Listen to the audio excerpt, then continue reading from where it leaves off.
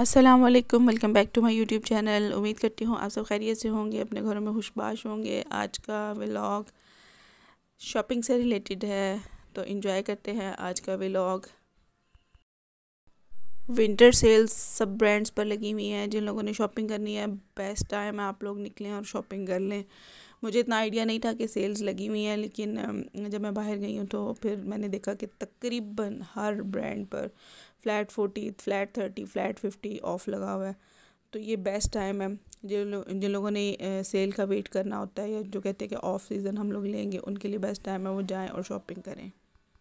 क्योंकि जिस तरह महँगाई बढ़ रही है हर साल आपको पता है प्राइसेस इंक्रीज़ हो रही हैं। तो बेहतर है कि ऑफ़ सीज़न लेके रख लेना चाहिए। तो जैसे नेक्स्ट सीज़न सर्दी आएगी तो आप लेके सिलवा लें जूते रख लें या जो भी आपको ऑफ़ सीज़न में जो चीज़ ऑफ़ में मिल रही है वो ले लेनी चाहिए। बेहतर रहता है।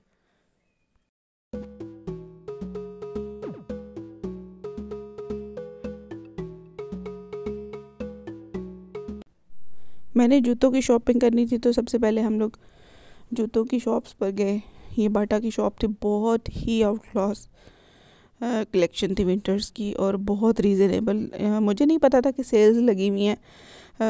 ब्रांड का क्लॉथिंग का तो मुझे आइडिया था कि वहाँ पे है, लेकिन ये जूतों की और बाकी किड्स वैरायटी पर वो उतना आइडिया नहीं था। लेकिन जब मैं बाहर गई हूँ तो फिर पता चला कि तकरीबन हर ब्रांड पे सेल लगी हुई है।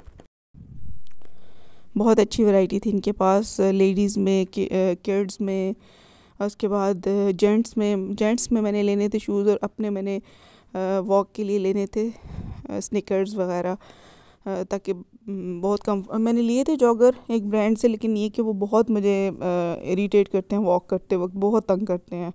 तो मैंने कहा, चलो चेंज करके देखते हैं, क्योंकि पाँव का कंफर्ट भी देखना ज़रूरी होता है।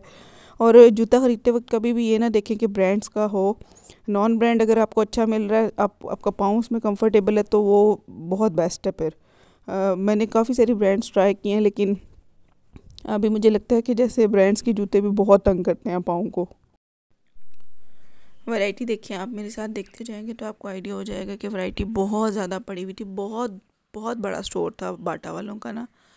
शायद सिटी का मेन स्टोर हो ये। तो और उसके बाद फिर हम लोग बोरजान पे भी सेल लगी हुई थी। बोरजान पे आई थिंक फ्लैट फिफ्टी थी। आ, उनकी भी फिर मैंने जूते देखे। जूता तो हर मैंने बाटा से ख़रीद लिया था। लेकिन यह कि मुझे था कि मैं एक नज़र मार कर आती हूँ ब्राइडल वैरायटी। इनके पास भी बहुत अच्छी थी। उसके बाद ये कैजुअल में पम्प्स वगैरह बहुत अच्छे थे। उसके साथ फिर ये इंड्योर की थी। इंड्योर पे भी अच्छी थी वो। कलेक्शन बहुत अच्छी थी, लेकिन मुझे ऐसे लग रहा है जैसे काफ़ी टाइम से ना इंड्योर का जूता तंग करता है। अपना अपना एक्सपीरियंस होता है, मेरा पिछले तीन चार साल से इनसे कोई बहुत अच्छा एक्सपीरियंस नहीं है। इनके पास भी जूते बहुत खूबसूरत थे pumps heels bridal bridal collection तो है, ये बाटा और इंडियोर पे बहुत ज़्यादा नहीं होती, लेकिन ये फैंसी जूते थे इनके पास भी।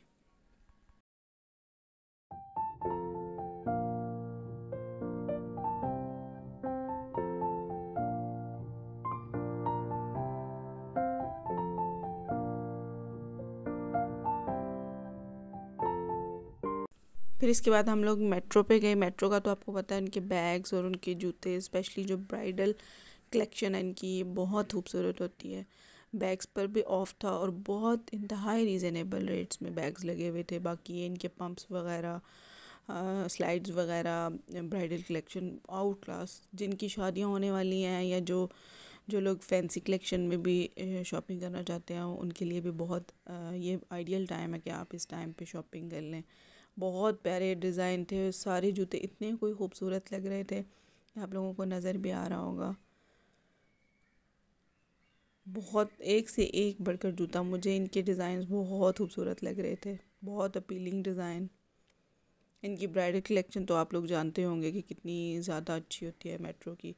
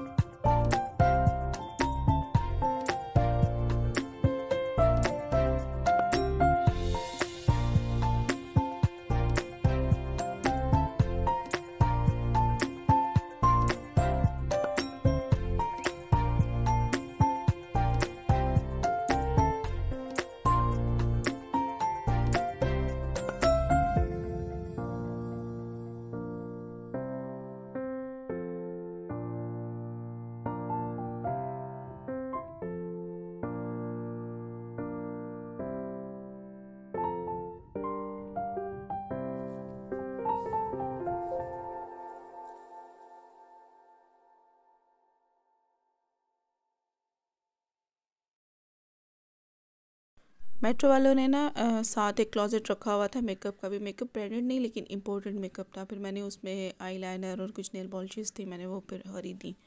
क्वालिटी मुझे अच्छी लगी वाटर प्रूफ आई लाइनर थे इनके।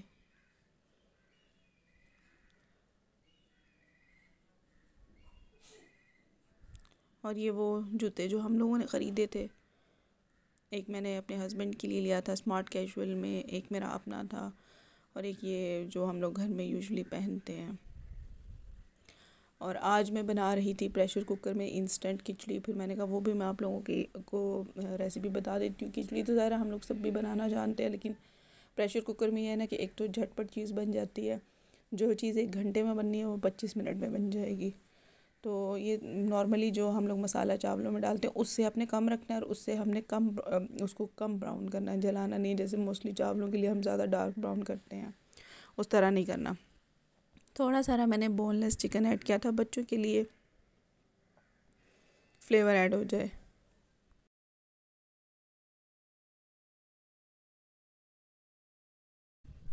और फिर मैं इसमें मूंग की दाल डालूँगी। छिलके वाले भी डाल सकते हैं आप लोग, जो आपको फ्लेवर अच्छा लगता हो। मैंने बगैर छिलके के डाली थी। जब चिकन की भुनाई होगी, इसमें नमक, लाल मिर्च तो मैंने नहीं ऐड की, थोड़ी हल्दी डाली थी और काली मिर्चें और नमक। आप अपने टेस्ट के हिसाब से डाल लें बेसिकली जो खिचड़ी होती है वो बहुत लाइट बनानी चाहिए। ज़ाहिर उसका पर्पज़ ये होता है कि आप अपने स्टमक को थोड़ा ईज़ करें, मसालों वगैरह से दूर रखें। तो बहुत लाइट सी बनाई थी और ये बहुत जल्दी मेरी हार्डली बीस पच्चीस मिनट में टोटल बन गई, हो गई। और ये अभी मैंने दाल डाल के उसके साथ बुनाई की है थोड़ी सी काली मिर्चें मैंने डाल दी हैं। और अब मैं इसमें इतना एक एक डेढ़ ग्लास के करीब पानी डाल के मैं इसको थोड़ी देर प्रेशर दूँगी, तकरीबन सात से दस मिनट कर लें, ताकि जो हमारा चिकन और दाल है, बहुत अच्छे से गल जाए।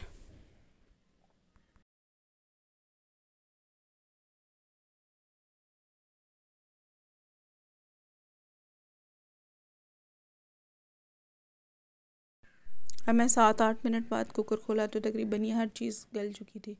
फिर चावलों के लिए पानी डालूँगी और याद रखिए कि जब प्रेशर में प्रेशर कुकर में चावल बनाएँगे तो उसका जो पानी हम रूटीन में डबल पानी डालते हैं तो उसकी क्वांटिटी हम आ, कम कर देंगे। जैसे मैंने आ, वन एंड हाफ़ कप चावल लिए थे तो मैं अब थ्री कप्स की बजाय टू एंड हाफ़ कप्स डालूँगी। क्योंकि कुकर में एक तो चीज़ जल्दी बन जाती है हमने ऊपर प्रेशर लगाना होता है हाँ लेकिन दम के टाइम पे मैंने इसके ऊपर वेट नहीं लगाया था। ढक्कन तो मैंने बंद किया था, लेकिन मैंने वेट नहीं लगाया था, क्योंकि वेट लगा देते तो बहुत ज़्यादा घुल जानी थी। खिचड़ी का तो हर कोई इशू नहीं होता कि जितनी भी नरम बन जाए, लेकिन ये कि अगर आप नॉर्मली कोई चावल बना रहे हैं, पुलाव बना रहे हैं तो उसके लिए फिर ये रेसिपी होगी कि आपने पानी फिर उस हिसाब से कम रखना है। अभी बस ये थोड़ा सारा पानी और ड्राई हुआ तो मैंने दम लगा दिया था। दस मिनट के करीब आप इसको दम दे दें और चावल रेडी हैं। उम्मीद करती हूँ कि आज की रेसिपी आपको अच्छी लगी होगी। रेसिपी अच्छी लगी है तो चैनल को सब्सक्राइब करें वीडियो को लाइक करें।